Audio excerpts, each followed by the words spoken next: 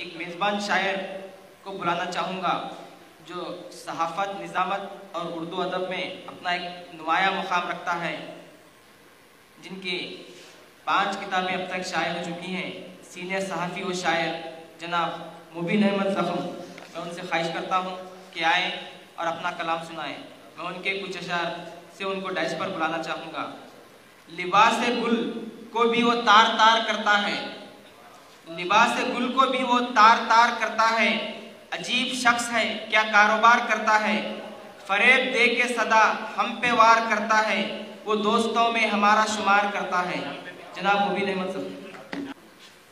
کہہ دیا یہ نبی نے سبھی کے لیے۔ کہہ دیا یہ